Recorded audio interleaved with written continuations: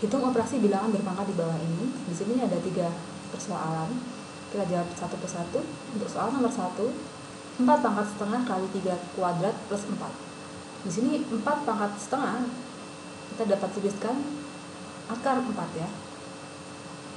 Dan sisanya sama.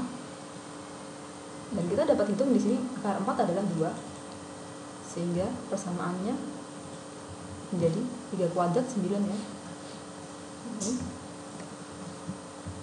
dan kemudian kita operasikan lebih lanjut yaitu 2 kali 9 plus 4 mana yang kita dahulukan? Kita dahulukan adalah perkalian terlebih dahulu. Jadi kita bisa memberikan tanda kurung seperti ini dulu. Nah jadi untuk memudahkan mana operasi yang akan kita jalankan terlebih dahulu yaitu sehingga hasilnya di 22 untuk jawaban nomor 1 kemudian untuk permasalahan nomor 2 di sini ada 5 pangkat 3 kali 5 pangkat 2 per 3 dibagi 5 pangkat sepertiga.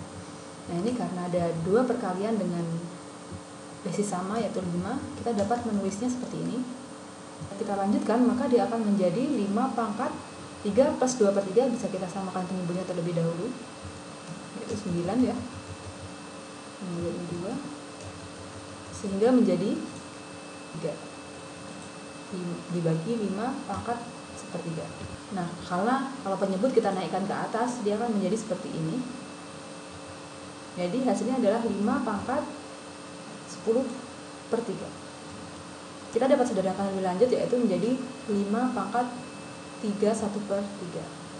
Nah ini jawaban untuk persoalan nomor 2. Kemudian untuk persoalan nomor 3 yaitu 1,96 kali 10 pangkat 24 di akar ya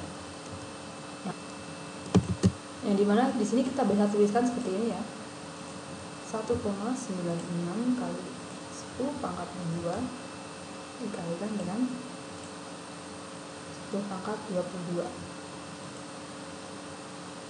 ini menjadi 196 dan dikalikan dengan 10 pangkat 22 di sini 14 dan di sini adalah 10 pangkat 11 nah ini adalah hasil dari pertanyaan nomor 3 sudah cukup jelas ya?